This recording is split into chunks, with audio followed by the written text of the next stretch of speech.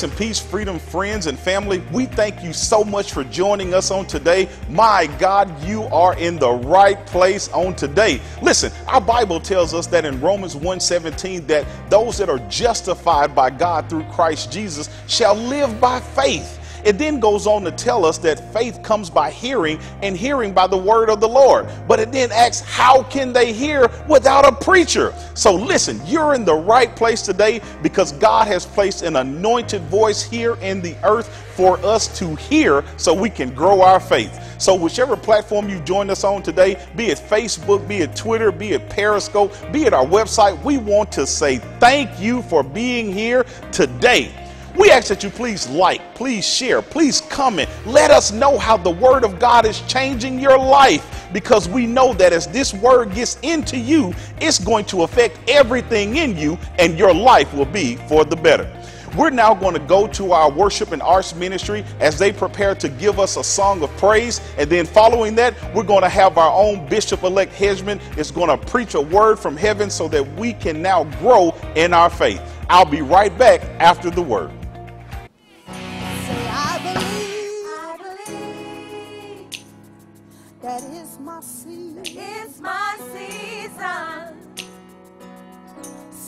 I believe. I believe. That is my time. It's my That time. is my time. It's my time. And I can feel it. I can feel it. Breakthroughs in the room. Breakthroughs in the room. Come on, tell yourself. Anticipating. Anticipating. God's getting ready to move. God's getting ready to move. For I know. For I know My God. my God He's working a miracle. Just for me. Just for me. And It's gonna be. And it's gonna be big. Come on, tell your future. Tell your destiny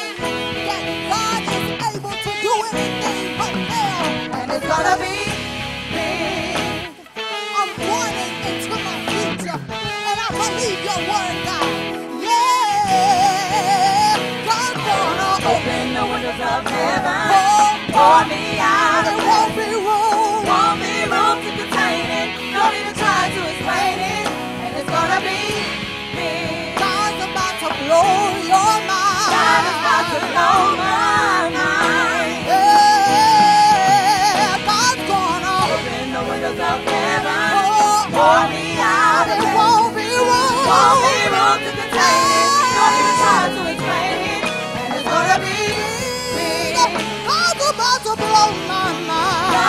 about to blow my mind. Come on, tell your situation. Come on. And it's gonna be, Big, and it's gonna be, big, and it's gonna be, big, and it's gonna be big. Lord, let it be. My future is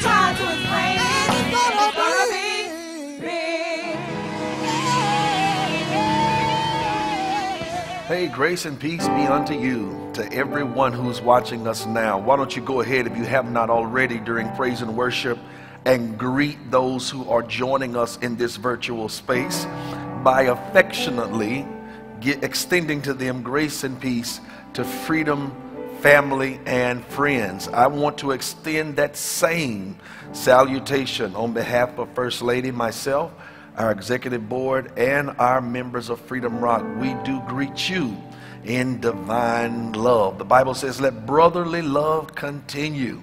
And I'm thankful that even in this virtual space, even though we're not together physically, we're able to show love virtually. Amen. And we're able to agree spiritually. I'm thankful today because of several things. One in particular, I'm thankful that our women have continued to completion almost their prayer assignment on the mornings at 6 a.m. And I'm thankful that they are praying in faith and agreeing. I'm so excited to be a part and have been a part of such an awesome collaborative move of God. I am thankful that even on tomorrow and Tuesday, I believe will be the last day of the 21 days. So I encourage all of you to join in with them in prayer. Also, I want to repeat tonight uh, concerning our Christmas adoption that the Freedom Rock Kappas are have come together and we are sponsoring a family. Now there is an application process that would need to be submitted that can be picked up in the office. We will review those applications. We will select a family and we want to help make this holiday season a memorable one for those who are less fortunate, who may have experienced hardship along the way. But your children, amen, are still dear to your heart, and we want to just help you make this moment an incredible one for them. One point of clarity uh, we did misstate a name. Our Ministry of Care always submits to us names of members who are hospitalized. And we were praying for Miss Courtney Emerson. I'm thankful that she's now returned home. And we were praying for uh, Miss Louise Jones, but Miss Jones was not sick. It was Miss Irene Allen. And think Miss Irene Allen came home on Monday, if I'm not mistaken. So, correction. There's nothing wrong with Miss Louise Jones, praise the Lord. But Miss Irene Allen, we want to continue to keep her lifted in prayer as well. And today, uh, you're watching this, but it's recorded uh, on the day where we did our supernatural grocery with Patch. And we're so excited that many families, 12, we could not do everybody, but we're keeping up with who we're able to identify in these acts of generosity on behalf of our church, and we will continue to find our way until prayerfully, as these opportunities present themselves, we'll be able to help everyone in the end or throughout. But we're thankful we were able to be a blessing with groceries, amen, for all the way through till the beginning of February for our senior elderly members on this week. So kudos to Freedom Rock Church being a church that understands the importance of being influential transformers of lives as well as community. Well, let's go into the word of the Lord. I'm excited about this message. I know what God has already shared with me that he's getting ready to do. And so I understand why this series of teaching is so important. And I know what's to come to those who will not only hear, but obey and practice, hearers and doers of the word. Let's start in Romans 5, verse number 21. So we're teaching on right believing, the solution to sin practices. Right believing, the solution to sin practices. All right? Right believing, the solution to sin practices. However, tonight's teaching is entitled Sin versus Grace. Sin versus grace, sin versus grace. Romans chapter 5, verse 21, we're going to read here in the Message Bible. And the Bible reads as follows All that passing of the law against sin did was produce more lawbreakers.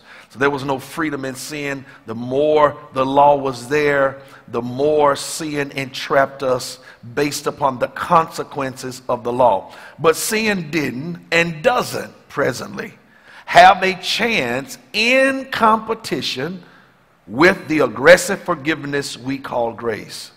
When it's sin versus grace, grace wins hands down. All sin can do is threaten us with death, and that's the end of it. Grace, because God is putting everything together again through the Messiah, invites us into life, a life that goes on and on and on, a world without ending. Again, the verse before that, verse 20, said that uh, when it's sin versus grace, grace wins hands down. Now, I don't believe that this statement is just being made in reference to the life of Jesus. I believe this statement is made for the life of believers who have received Jesus. So I don't believe that Jesus is separate from us when it comes to the Bible's promise, and prediction that whenever there is sin versus grace, that grace will win hands down. I believe God wants us to release faith, to believe that even for our own selves, that when it comes to sin versus grace, even in your life, grace will win hands down. So let's let's learn how to win the battle against sin every time through grace.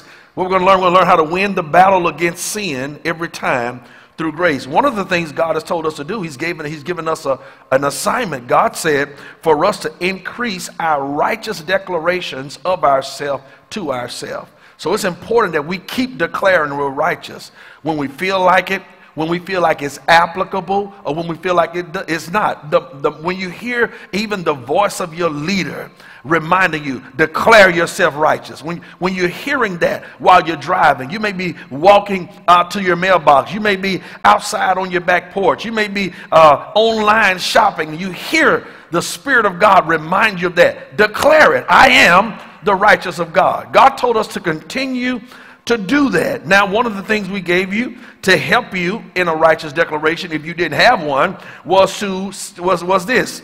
I declare, I am. I declare, excuse me, I am the righteous of God, and sin has no power over me. I declare I am the righteous of God, and sin has no power over me. So, just in case you don't have a declaration, that is one. Now, we said we're graced to live a life that's pleasing to God. Amen. We don't live pleasing to God through our flesh. We don't live pleasing to God in our own strength. We don't live pleasing to God in our own power. We need grace. And through His grace, we are able to live a life that's pleasing to God. And so, this right standing, this right standing that God has given us is sustained by grace, not by works. Again, this right standing that God has given us is sustained by grace, not by works. So, your works didn't earn it, and your works won't keep it. Okay? Now, just in case you need scriptures to help you with that, I'm not going to turn to these for the sake of time, but you can write these down, note takers again. Romans chapter 1, verse 17, New Living Translation. Romans 1 17, New Living says, God has made us righteous.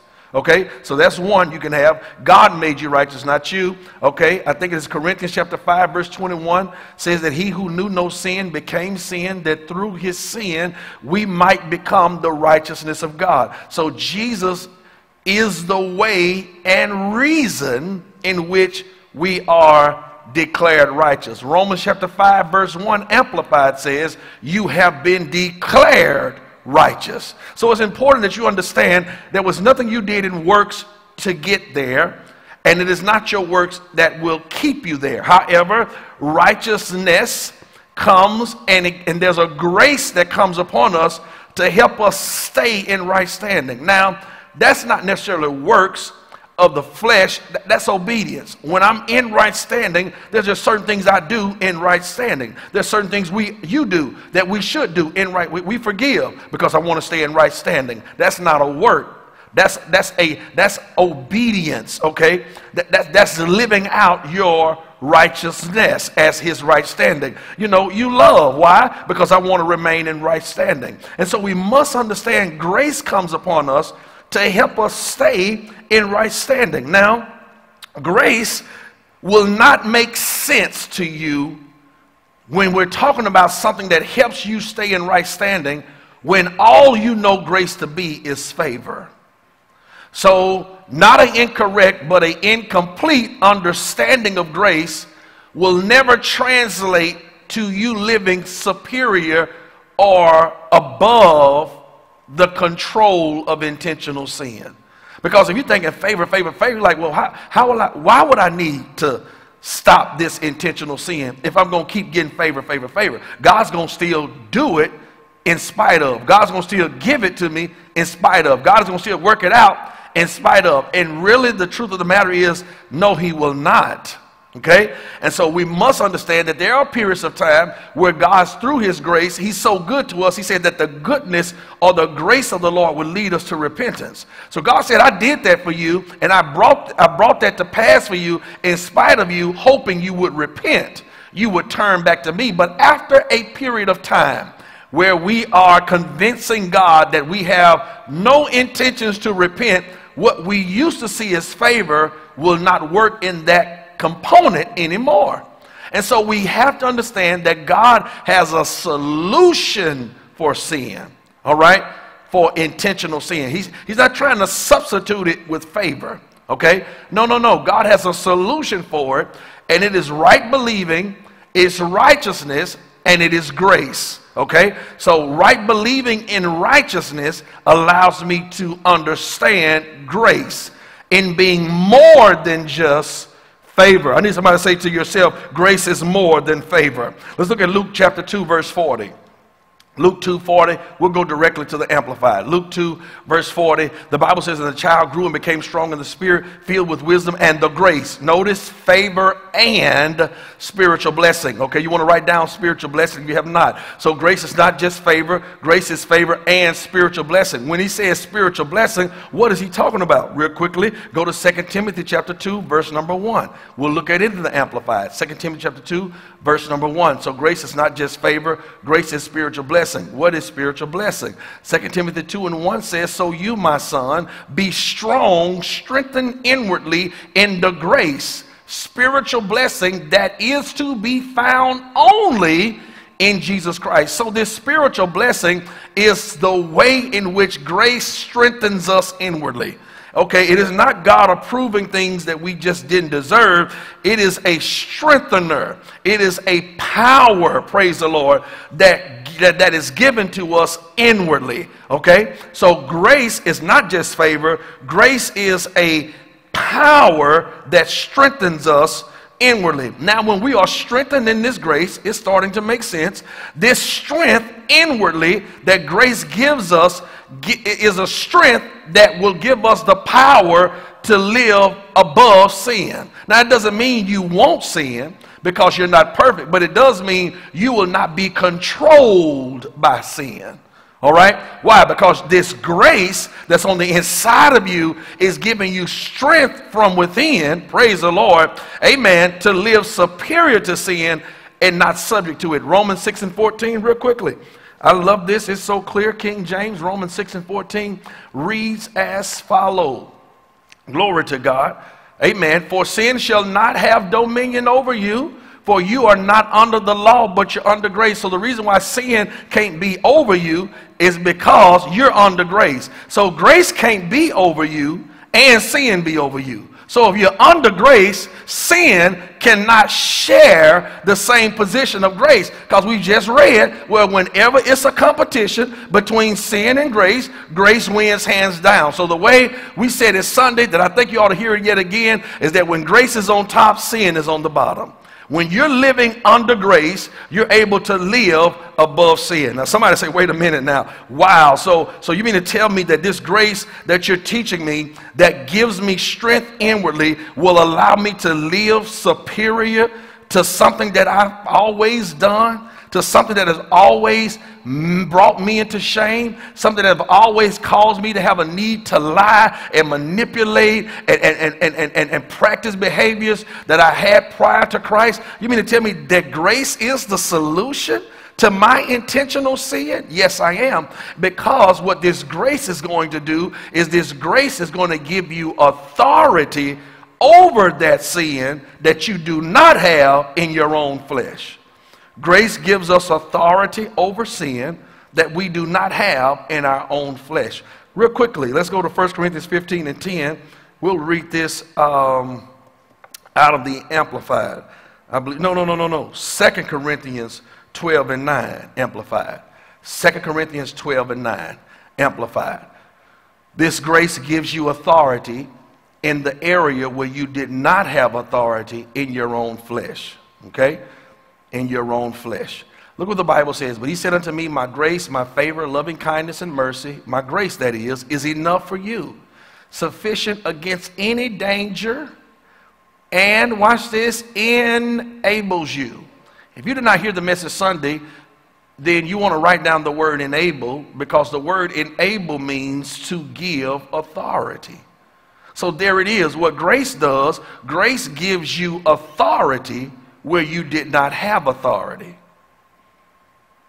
So grace gives you the power to exercise control over what once controlled you. So you say, How am I going to stop lying? Grace will enable you. Praise the Lord. To walk or exercise your tongue righteously instead of having a lying tongue. All right? You, you, you can't do it in your own strength because your flesh is very familiar with that. That is something that you were very well routine in. All right? It's common to your nature. But when you allow grace, praise the Lord, to empower you, grace will then give you authority to say no to that temptation to lie. Praise the Lord. Amen. He'll grace you to do it. He'll grace you to do it. Now, this is important because how do I get this grace? I'm glad you asked. Let's go to John chapter 1, verse number 12. John chapter 1, verse number 12. Praise the Lord. This is how we receive grace. So you already know I need grace for that thing. That thing is intentional in my life. Amen. I'm tired. You should be tired of hiding it, tired of it working on your mind, Tired of it robbing you of opportunities when things don't go right or things don't come to pass? You got to wrestle with was it because of that? Well, it's time for you to be freed from that. Praise the Lord. And God is not going to just free you so you can fall back to it. God wants to give you grace. He wants to strengthen you inwardly, praise the Lord, so that you can be on top of it. When grace is on top, sin is on the bottom. He says, watch this. But as many as received him, to them he gave power. To what? Become the sons of God. All right? Even to them that believe on his name. So I'm able to walk in sonship. I'm able to walk in the same thing that Jesus walked in in the earth. All right? All right, all I got to do is to believe him. If I believe him, he gives me the power. He gives me both ability and authority to live as Jesus lived in the earth. How does he do this? Verse 14. The Bible says, And the Word was made flesh and dwelled among us, and we beheld his glory, the glory as unto the only begotten of the Father. Who was the only begotten of the Father? John 3:16 tells us that was Jesus, who is, the Bible says, full of grace and truth. So when you receive Jesus, you receive grace. Amen. When you receive Jesus, you receive truth. Praise the Lord. Now, this is where I love this. Let's go to verse 16. Um, and let's read 16 and 17. He says, And of his fullness, because remember the Bible says that, that the word became flesh and it, it, it dwelt among us, talking about Jesus, the Son of God, the only begotten, and of his fullness have all we received, and grace for grace. For the law was given by Moses, but grace and truth came by Jesus Christ. So this law that kept showing me my sins, this law that kept you becoming more and more a breaker of sin. The more knowledgeable you became of wrong and right, the more wrong you became in your own strength. The more wrong you did in your own strength. The more you tried to please God religiously, okay, through your own works and ways, that you kept coming up short. But the Bible says there is a grace and a truth that comes only through Jesus Christ. Let's look at this in the Amplified, verse number 16 and verse number 17. So, how do you receive grace? I got to stay connected to Jesus. Even in this virtual space, you've got to stay connected to Jesus.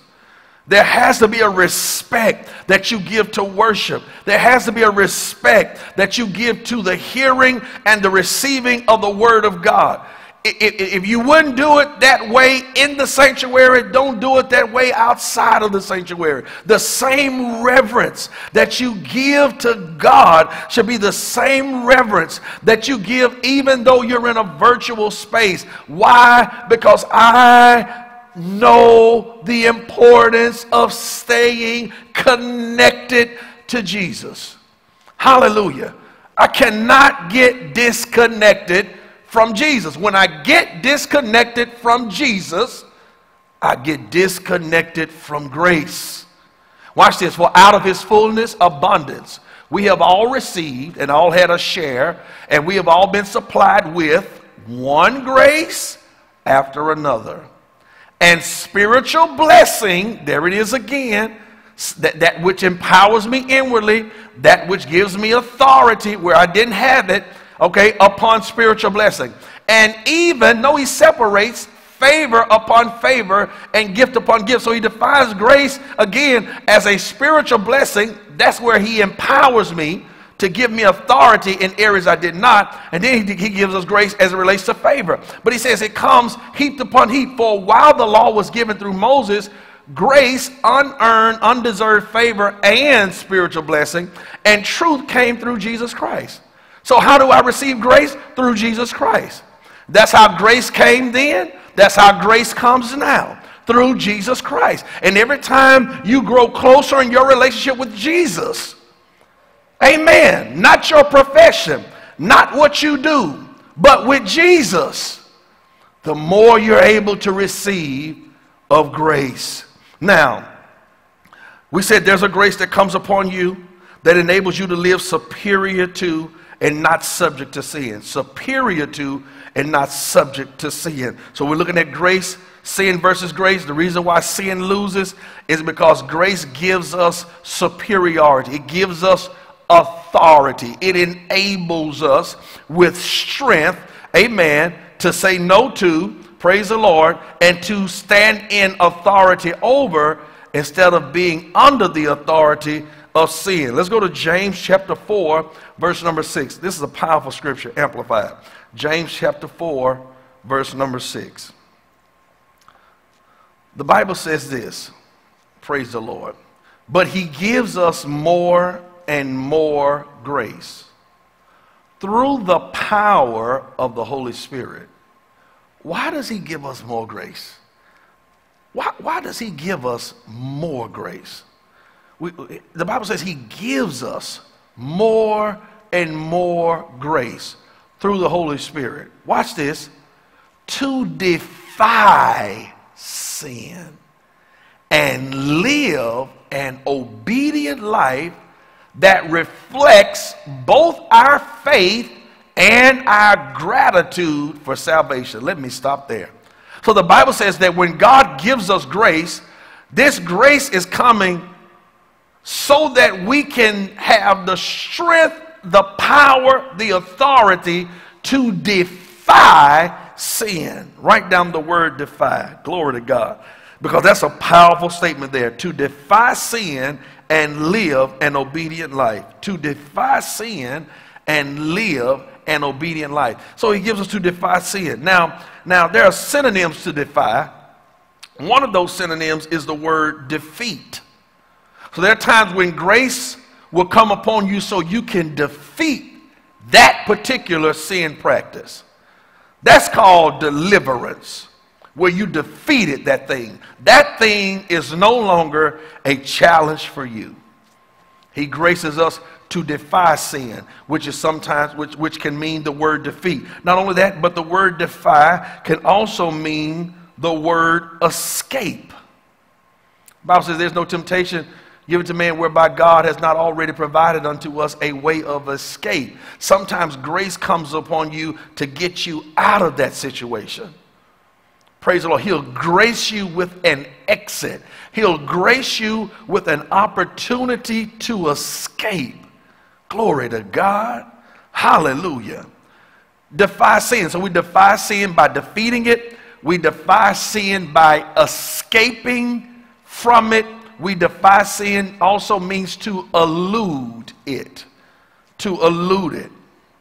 Yeah, to elude it. Now, I love this because um, defeat, whenever sin is defeated, this is worth note taking, that's called deliverance. Whenever you get truly delivered from something, hey, glory to God, grace will allow you to stand in victory over it. Mm-hmm. Yeah, delivered, delivered, delivered from it, delivered from it, delivered from it. Okay, that's how we defeat sin by being delivered. Yes. Now, defeat speaks to deliverance. Watch this, where elude speaks to management. So I'm able to elude that. I'm able to manage me. Watch this. I'm able to manage me, to elude that. I'm able to manage, you know, your relation with that particular thing. You're able to elude it. Watch this. You, you, stay away from it, uh huh, when you are eluding it. All right? You stay on top of it when you've defeated it. Now that's powerful because there are some things that you have to stay away from, all right? Because you are not necessarily delivered from it. Mm. Oh, God. This is real. Help me, Pastor. In other words, there are certain temptations to sin intentionally and continually that you mitigate by either distance, staying away from, watch this, or discretion. Mm-hmm. I, I, I can do that, but I can't do that too much. Or I can't do that too long. All right? Why? Because some matters are not matters of deliverance, they are matters of management. And God will grace you, praise the Lord, to live delivered from what He's freed you from but then there are other times where God will grace you to manage. Because everything is not a demon, some things are in discipline.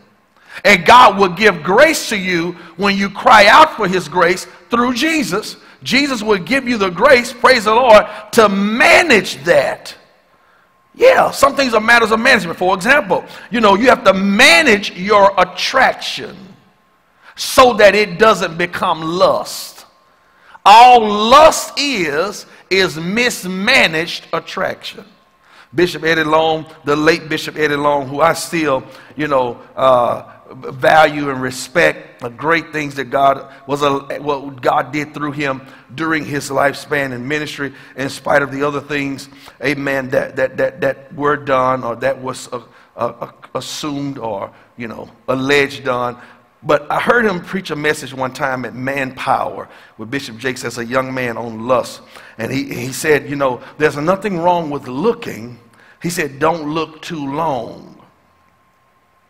Because, see, when you look too long, watch this, that which was just an attraction has now become lust. Well, you can't pluck your eyes out. I want to get delivered from seeing. No, you can't get delivered from seeing. We're going to pluck your eyeballs out. No, you have to learn how to manage attraction because everything is not a matter of deliverance. Some things are matters of management. For example, you have to manage your eating intake. Why? Because if I don't manage my eating intake, I can fall into gluttony.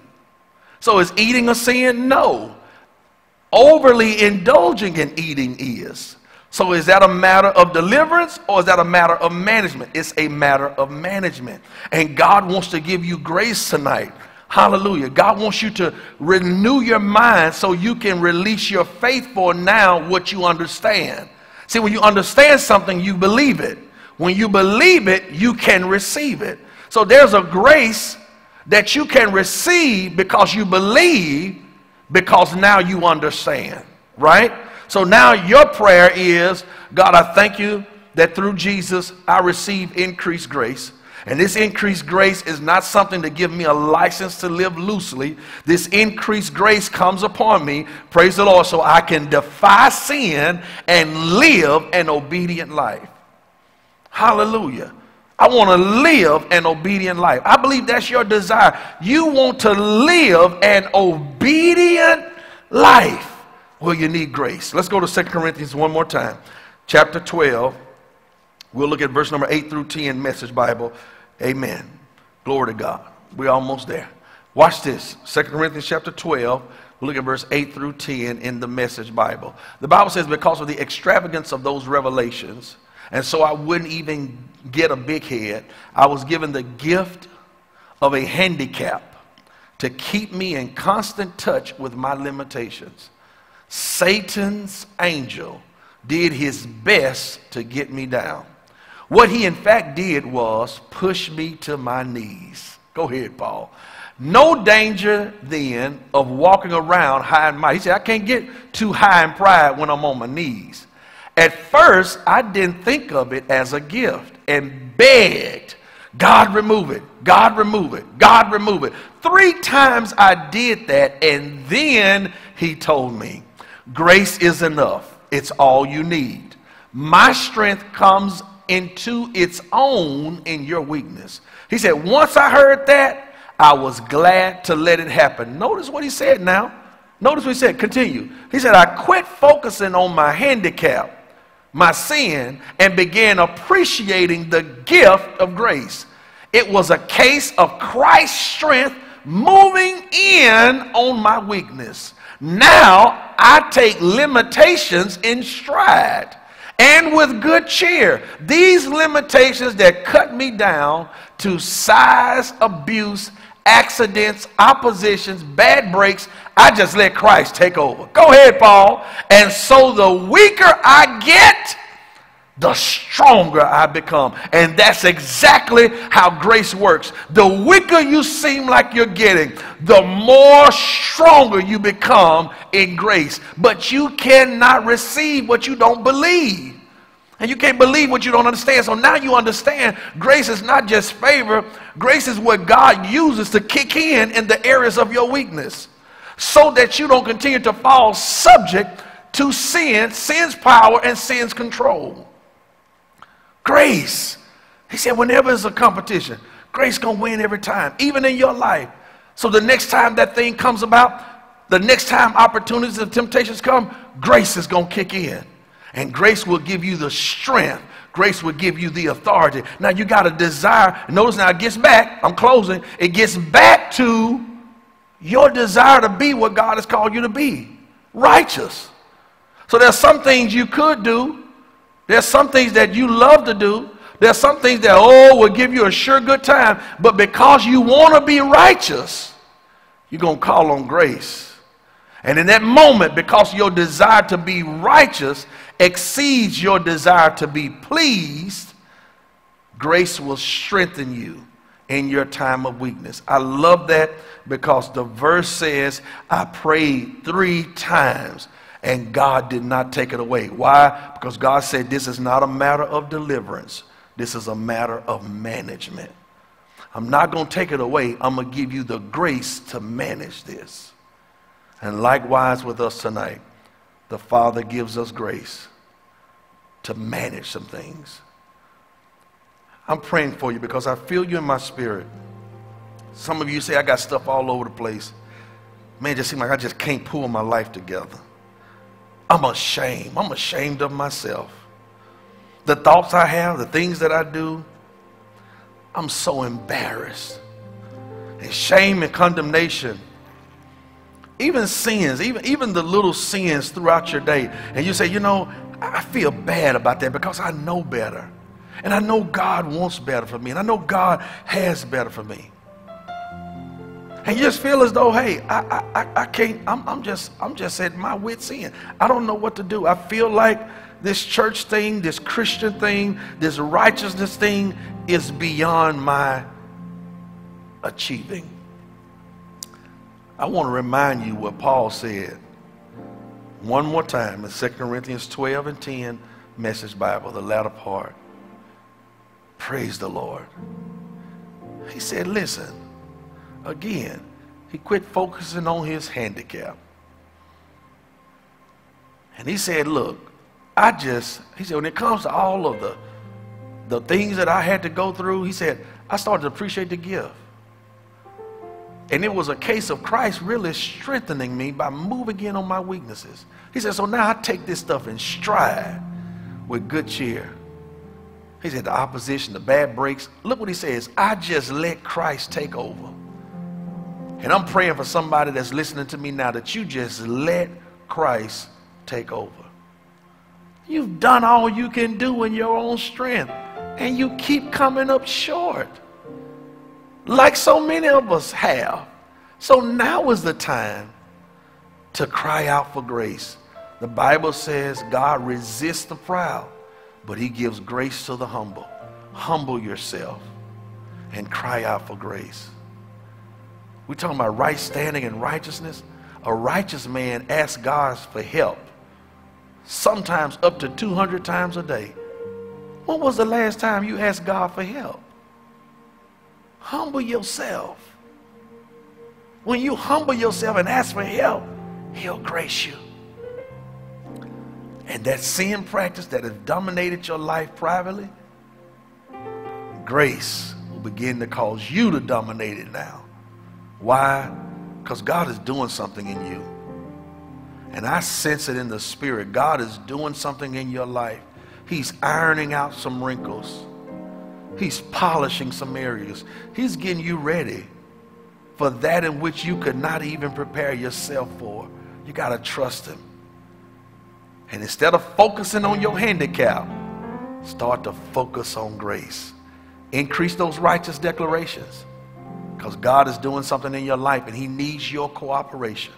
He needs you to believe that you can be righteous through His grace. God bless these hearers, cause their lives to never be the same again after having heard this word of faith. Be blessed. My, oh my, what a tremendous word. We thank God for Bishop elect Hedgemon for being able to hear from heaven and be able to disseminate such a powerful word to his people and to all the people of God. We thank you so much for joining us on tonight. Listen, we ask now that you please like, please comment, please share. Let your friends know that there is a voice that is hearing from heaven. There is a watchman on the wall, and God is speaking directly through him for his people. Listen, if you're unsaved, we ask now that you please pray with us. Allow us to lead you into the family of our Lord and Savior Jesus Christ. These days are not guaranteed to any of us. So we want to take this time out now to pray a special prayer for you so that you can now join yourself in the family of those who are saved by our Lord Jesus Christ. So please bow with us now. We ask that you please repeat after me. Lord Jesus, we ask that you please come into our lives. God, we thank you now that we understand that we are sinners. Yes, God, we are separated from you because of our sin. We ask now that you please come into our heart. Change our lives, God. Make us who you have created us to be so that we can be a part of your family.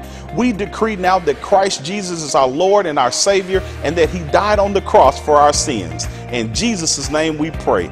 Amen.